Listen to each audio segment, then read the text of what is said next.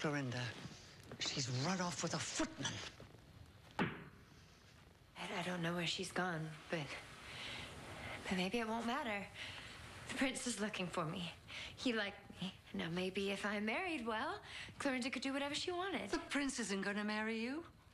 He isn't even going to recognize you. Of course he'll recognize me. Officially? Will the people officially recognize you? You look like a trash bin and have the education of my cat.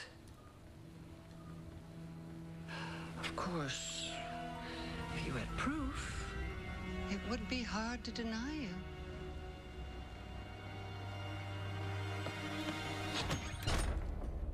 Look what we have here. Okay.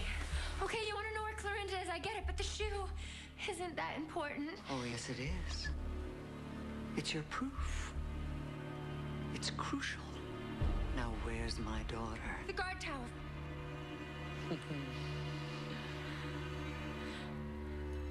no!